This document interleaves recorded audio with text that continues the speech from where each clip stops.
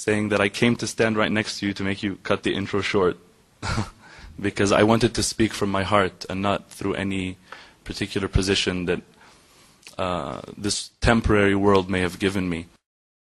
I'm also being very challenged right now, although I am a public speaker, because I want to say a meaning that is very sincere.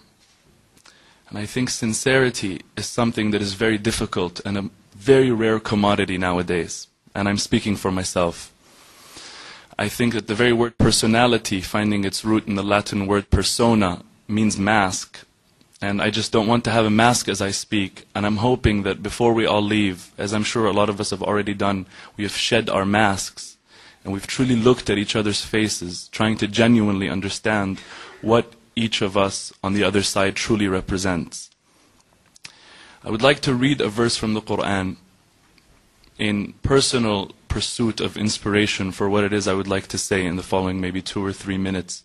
If you allow me to, those who believe in the Quran are going to listen to it, seeing what Allah, the Creator, is saying to them. But those who don't, don't be offended. I'm not patronizing you. Just listen to it in whatever way, shape, or form you would like to listen to it in. أعوذ بالله من الشيطان الرجيم يا أيها الناس إنا خلقناكم من ذكر وأنثى وجعلناكم وجعلناكم شعوبا وقبائل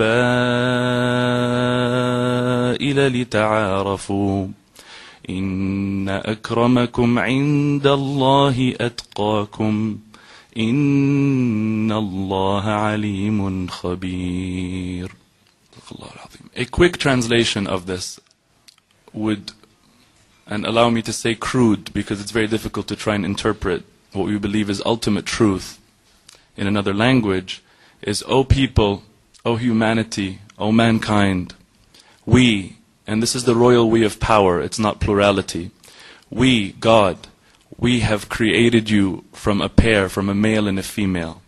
And we have made you into peoples and tribes that you may know one another. That you may know one another. I think that I would like to leave it off saying that to me, in this context, Allah, God, is, if I'm allowed to say, synonymous in this context with truth, beauty, and justice, and the sovereign good. And I think that everybody here, in one way or the other, and I've met pretty much everyone here, I think that everybody here believes that there is something true.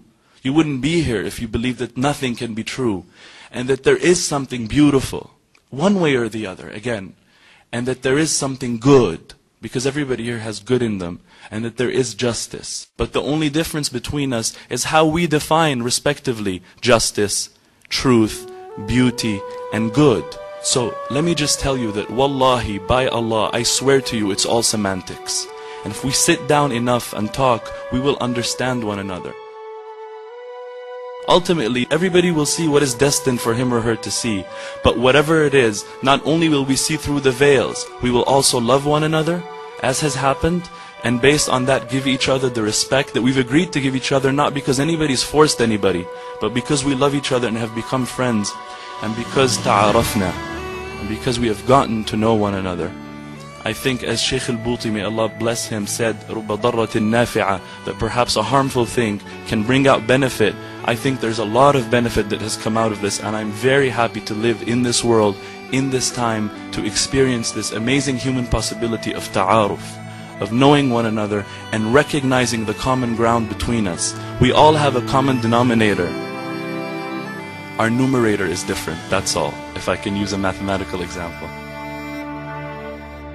May we all, in hope, for those who are religious, I say a prayer, and for those who are not, let's just say we hope, we look forward to understanding more deeply what truth is in whatever way. We believe it to be living a life of beauty, living a life of justice, living a life of good, and therefore living a life of harmony and therefore having serenity in our hearts, not living in agitation. May none of us ever be a source of agitation for the other ever again. I thank you very much for listening and I apologize for taking too long.